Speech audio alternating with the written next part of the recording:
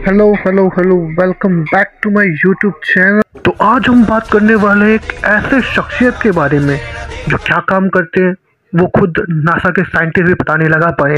जो फ़ेमस तो है बट फ़ेमस क्यों है, वो ग्यारह मुल्कों की पुलिस भी नहीं पता लगा पाई है। ये जंतु क्या है और क्यों है, इसका तो पता नहीं बट ये जंतु कहाँ पाया जाता है, उसका आंसर है सेलिब्रिटीज के गले पड़े पाया जाता है।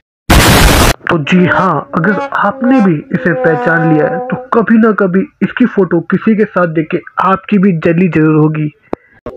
तो हाँ इच्छाधारी नागिन को भी कॉम्प्लेक्स देने वाला और ही द लीवर बॉय अब आप लोग सोच रहे होंगे कि लीवर बॉय क्या होता है? तो जरा ये देखिए। You go for a your you're you paint your paint, I am living a liver. Living, I'm a liver. अच्छा ऐसा है तो मेरा एक दोस्त है जो हर चीज़ का स्क्रीनशॉट मतलब स्निप लेता रहता है। तो क्या वो स्नाइपर हो गया? और ये मुझे समझ नहीं आता ये सांप की तरह चिपक के फ़ोटो खिंचवाना भी टैलेंट है क्या? और अगर हाँ तो सेलिब्रिटीज नागिनों को होना चाहिए था। ओह सॉरी सॉरी सॉरी मैं तो भूल ही गया था। आजकल की सेलिब्रिटीज नागिनी तो है। अरे ये तो धोती खोल रहा है। और एक मिनट ये बताओ मुझे ये बंदा लिव करता है मतलब बेरोजगार है। तो उसे नल्ला नहीं कहते और आजकल ये जंतु हर पॉपुलर पार्टी में पाया जाता है।